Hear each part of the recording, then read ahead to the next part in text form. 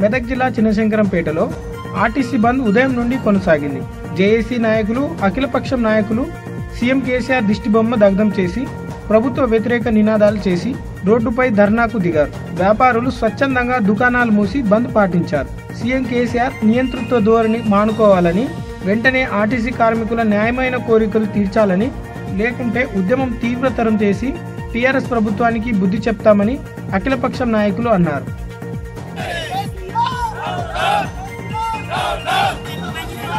కేసీఆర్ ప్రగతి భవన్ నుండి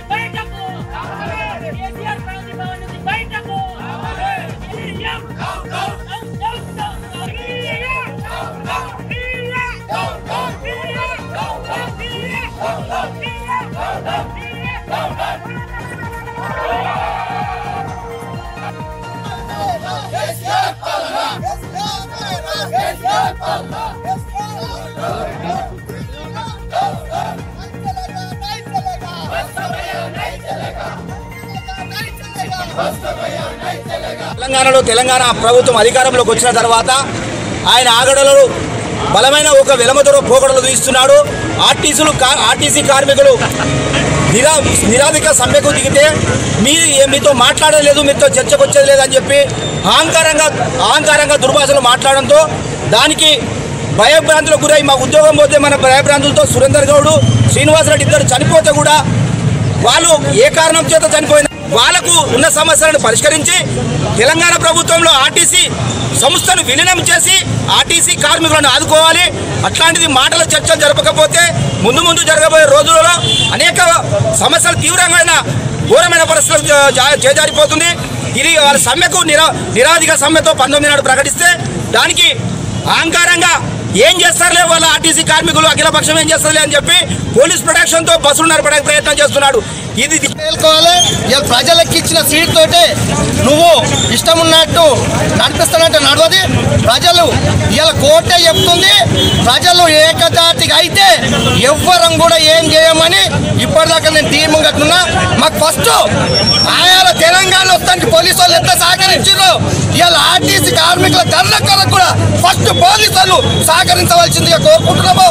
ఈ ధర్నా ఆయాల తెలంగాణ కొరకు పోరాడితేనే ఇద్దరు ముగ్గురు చనిపోయారు ఈ పదిహేను రోజుల కొంత యాక్సిడెంట్లలో చనిపోతున్నారు ఆత్మహత్య చేసుకుంటున్నారు ఈ గవర్నమెంట్లో చనిపోయిన ఆత్మహత్యలు ఎప్పుడు కూడా చేసుకోలేరని కూడా కోరుకుంటున్నాం. గవర్నమెంట్ మేల్కోవాలి.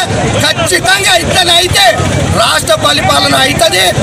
ఇది సెంట్రల్ గవర్నమెంట్ కూడా ఆలోచించాలని కోరుకుంటున్నాం. ఫస్ట్ సహకరించాలి అణచివేయడానికి ప్రయత్నం చేస్తా ఉన్నామో దాన్ని తీవ్రంగా వ్యతిరేకిస్తా ఉన్నాము నీ ఏదైతే నియంత్రణతో పోకడం ఖచ్చితంగా అణచివేస్తాం. కళ్ళు కా- కాళ్ళ తీసేందుకు చేస్తూ ఉంటాం ఆర్టీసీ కార్మికులు వెంటనే పిలుచుకొని వాళ్ళతో చర్చలు జరపాలి. లేకుంటే మాత్రం పెద్ద ఎత్తున ఇంకా ఉద్యమం చేసి మేము ప్రభుత్వానికి గద్దె తీర్చడానికి సిద్ధంగా ఉన్నామని చెప్తా ఉన్నాం. ఈ అహంకారంతో పనిచేయాలి ఇప్పుడు. ఉద్యమంతోనే నువ్వు ముఖ్యమంత్రి అయినావు అదే ఉద్యమంతో మళ్ళీ సీట్ దిగుతామని చెప్పి హెచ్చరిస్తా ఉన్నాం. ఆర్టీసీ కార్మికులు వెంటనే పిలిచి వాళ్ళ డిమాండ్లను పరిష్కరించి ఆర్టీసీని ప్రభుత్వంలో కలుపుకోవాలని చెప్పి డిమాండ్ చేస్తా ఉన్నాం. అఖిలపక్ష పార్టీలతో మొత్తం ఈరోజు తెలంగాణ బంద్ అయితే ఏర్పాటు చేసాము ఇప్పుడు కూడా ప్రాబ్లమ్స్ సాల్వ్ కాకుండా మాత్రం ఇంకా పెద్ద ఎత్తున నేను గద్దె దించదాకా విశ్రమించే సమస్య లేదని చెప్పి హెచ్చరిస్తా ఉన్నాం. దిష్టి బొమ్మ దగడం చేయడం జరిగింది ఇవాళ ఇక్కడ శంకరంపేట చిన్న శంకరంపేట మండలంలో. సీఎం గారి దిష్టి బొమ్మను కూడా దగడం చేయడం జరిగింది. ఇంకా ముందు ఇంకా తీర్మానం తీవ్రమైనటువంటి పరిణామాలు ఉంటాయని చెప్పి హెచ్చరిస్తా ఉన్నాం. తెలంగాణ ఉద్యమంలో పెద్ద కొడుకులాగా మరి బంద్ అంటేనే ఆర్టీసీ బస్సు టైర్ నడవకుండానే బంద్గా ఉండేది. మరి తెలంగాణ రావడానికి పెద్దన్న పాత్ర వహించిన ఆర్టీసీలు మరి రెండో పాత్ర వహించిన స్టూడెంట్స్ మరి ఎక్కడ కేసీఆర్ నీ కుటుంబ సభ్యులు ఆత్మహత్య చేసుకోలేదు మరి ఆర్టీసీ కార్మికులు ఆత్మహత్యలు చేసుకురు పన్నెండు వందల మంది విద్యార్థులు ఆత్మహత్యలు చేసుకురు వాళ్ళ శివాల మీద పేలలు ఏర్కొని తింటున్నావు ఇవాళ దొరపోగలు చూపెడుతున్నావు మరి దొరపాలన మాకు వద్దు ప్రజా పరిపాలన కావాలి మరి నీ ఆస్తి అడుగుతలేరు ఆర్టీసీ కార్మికులు నీ తాపేదాలు నీ ఎమ్మెల్యేలు ఆస్తులు అడుగుతలేరు నీ ఫామ్ హౌస్ అడుగుతలేరు వాళ్ళకు న్యాయంగా కావాల్సిన ఇప్పుడు న్యాయ- ప్రభుత్వ అలవెన్స్ అడుగుతారు తప్ప వేరే అడుగుతలేరు. పక్క రాష్ట్రంలో జగన్ గారు మరి ప్రభుత్వంలో వినియోగం చేశారు. మరి మన ధనిక రాష్ట్రం ధనిక రాష్ట్రం అంటూ మరి నువ్వు ఏం చేస్తున్నావు? ఒక ఉద్యోగం పెట్టియలేదు. కొత్తగా ఒక ఉద్యోగం సృష్టించలేదు. మరి చివరికి వస్తే ఆర్టీ సంస్థను పూర్తిగా నీ బంధువులకు అప్పయిపోయే ప్రయత్నంలో ఉన్నావు. మరి మొత్తం ఇసుక కోరి నీ బంధువులకే ఆర్టీసీ నీ బంధువులకే మొత్తం తెలంగాణను నిజాం నవాబు వెళ్ళినట్టు ఏలామని కలలు కట్టున్న కొడుక నిజామాబాద్ను నిజాం నవాబునే గోల్కొండ కింద పొందవేద్యం నిన్ను కూడా మెదక్ కిల్ల కింద పొందబెట్టేది ఖాయం. త్వరలోనే ఆర్టీసీ కార్మికులందరికీ మన న్యాయమైన కోరికలను మరి పిలిపించి పరిష్కరించాలని కోరుతున్నాం.